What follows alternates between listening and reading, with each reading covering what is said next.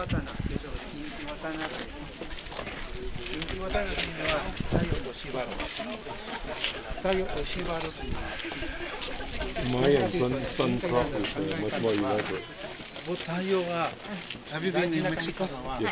Have you been in Mexico? ああ、なるほどね。Chichen Itza. The winter sun is Chichen Itza. 言われてま The す sun projected the shadow in the shape of the ああ、 snake. 時々。この石はね、あの真ん中にピンがありますので、それあの朝日から暮れまで But they face off 太陽の and they 差し sacrifice the one that is that will do. 陰で時間 The かかる winner. The winner? The winner were sacrificed. Is that right? Why? Yeah. Who want to win? Because it was an honor for them to be sacrificed to the gods. I see. This is the opposite.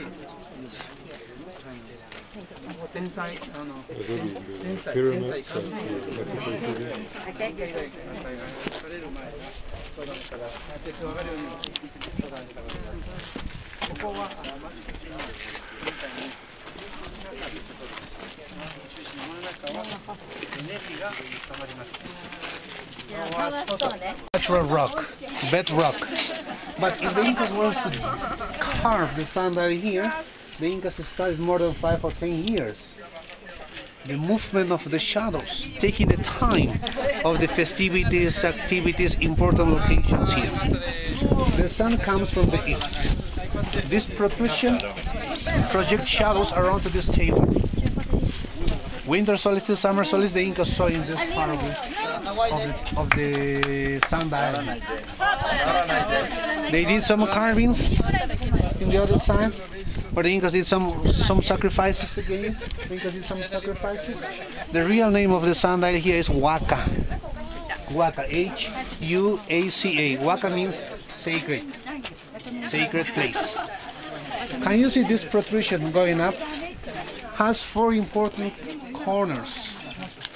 Each corner is facing to the south, north, east, and west.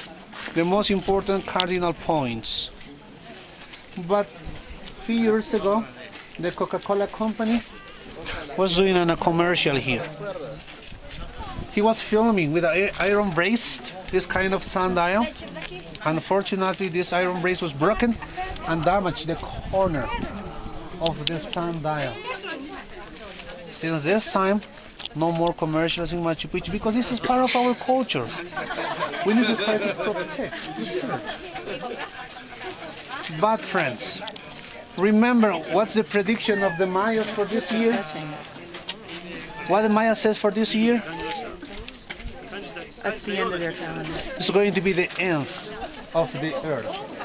Why the Maya says that? The Mayas culture had five different calendars. The Mayas had five different calendars. In one of the calendar, in honor to the Venus of Venusian, the Maya says December 21st is going to be the end of the earth. Why? Every 500 years, the sun is close to the earth.